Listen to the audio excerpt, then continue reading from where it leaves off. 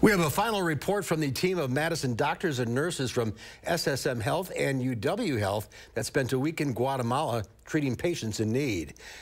That eh, they have all arrived home safely after making a hurried exit from the country due to protests there.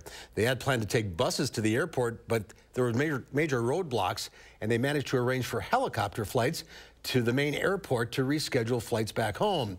But some found they were facing huge penalty fees for making last minute flight changes. But the umbrella organization that helped the volunteers get to Guatemala reached out to the president of United Airlines, who authorized the agents to rebook without a fee. The group eventually took three different flights to get home. And despite it all, they all went through, everyone said they would volunteer again. While there, they treated 56 patients. Job well done. Welcome home.